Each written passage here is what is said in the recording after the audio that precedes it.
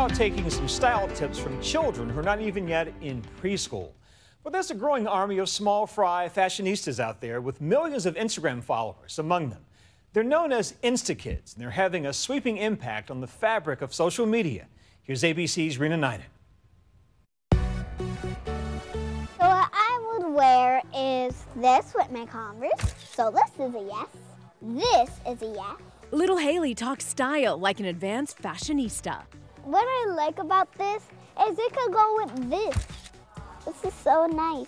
This is perfect. To say she's obsessed with fashion is an understatement. Haley Vasquez is an Instagram model.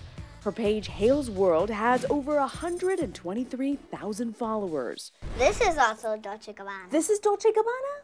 Wow. Now, how does it feel to wear these super luxury high end designers when you're only six? It's really fun. I like wearing cool clothes mm-hmm. because kids in my school say, I love your outfit.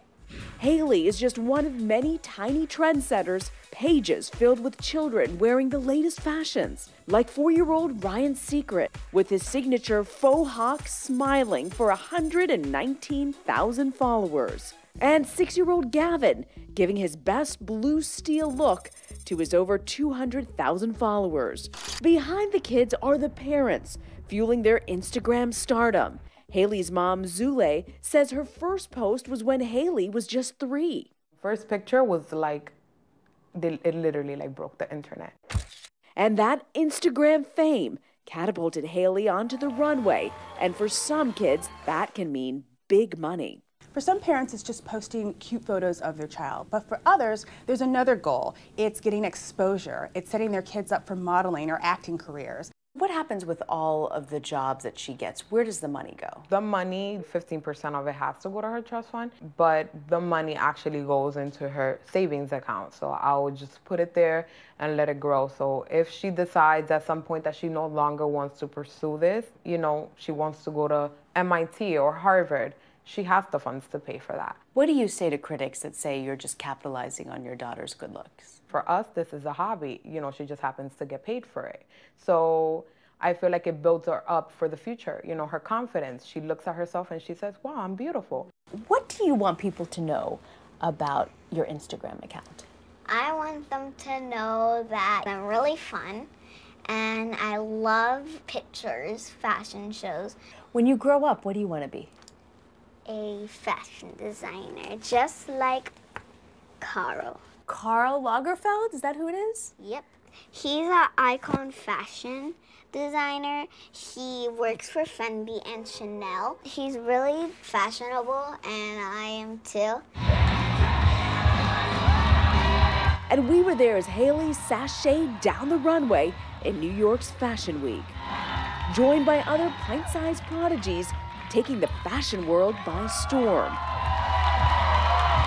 After the show, she gave me a lesson in fashion. Now tell me what you're wearing.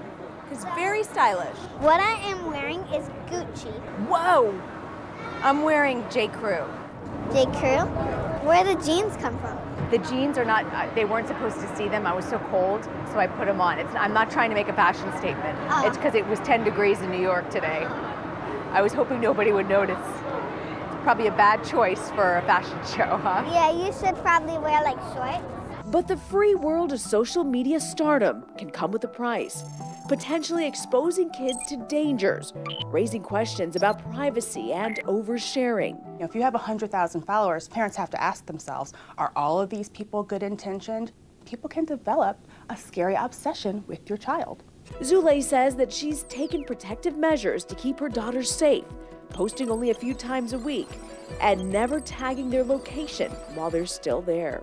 I make sure that she knows that if people come up to her, she knows and she's aware that, hey, this person is not my friend. Now, if she were to say to you today, Mom, I want to be a soccer player, I don't want to work in fashion anymore.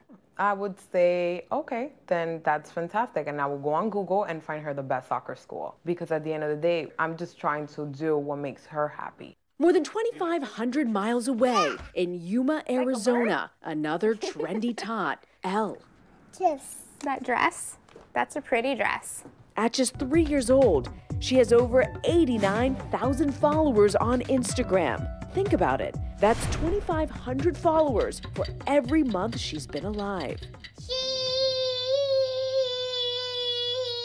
That's a good smile. I started posting pictures of Elle maybe when she was four or five months. It's been two years later and I'm still, I'm still in shock. She says that the response online has not always been positive. There's been a few comments like, let kids be kids. And I mean, I think it's because they think I dress her up that she's not a normal kid, but she is. She plays in her clothes, she goes to school in them. Mom Linda works as a dentist. Fitting to note, she also runs a children's boutique, the House of Posh Tots. And I've been offered money, but then to me it doesn't seem organic anymore. So I will take the merchandise and style it any way that I like, but I don't really want to get paid. This is fun, and I have two jobs. I don't want to have a third one. Back at home in New York, six year old Haley shows us that she can flex a few other muscles. What's your favorite subject in school? My favorite subject in school is math. Really? Are you good in math? Really good. What is two plus one? Three. Wow. She approaches her school wardrobe with just as much pizzazz. I'm warning you, I have a lot of clothes. I have jackets, I have um, capes, leathers, raincoats. And if you had to pick one item, what's your favorite item right now? Well, I have a lot of favorite items. So, first, here, it would be this one. That one's Burberry. When people see Haley's pictures, what do you hope they walk away with? I would hope that people would just see her for who she is, an amazing person. Think you're Beyonce? For Nightline, I'm Rena Ninan in New York.